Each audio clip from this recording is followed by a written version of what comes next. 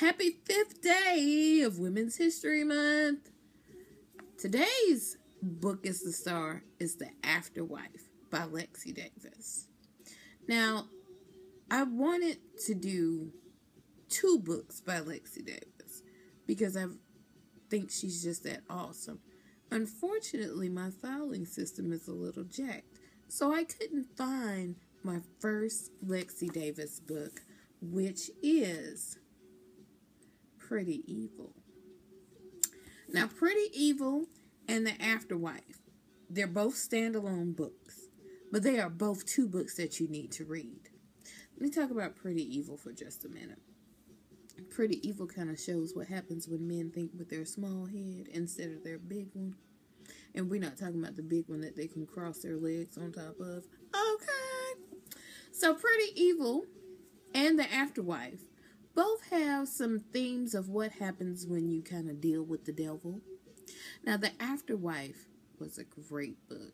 I think Lexi Davis is a great writer, and I love how she takes, you know, these spiritual tones in these books and kind of shows you what happens, you know, what can happen. It takes you into an alternate reality that is still in, you know, contemporary times and what's awesome to me is that these are characters of color, like Saracia Glass in her urban fiction.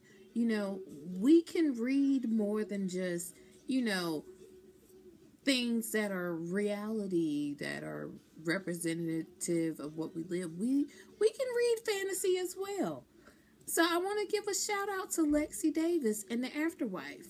Now the After Wife deals with Nia Youngblood, who is 24 and still a virgin and it's like every time she tries to to make love like natural disasters happen because she's been promised to someone else.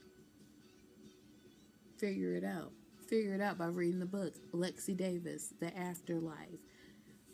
Nia youngblood is this the hero today. The book that's the star is the after wife by lexi davis.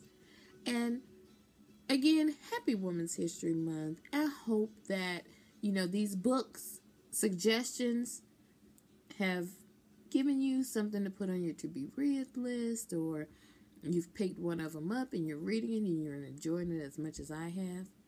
And I want to thank you for watching and I appreciate you so much. And happy Women's History Month. Have a great day.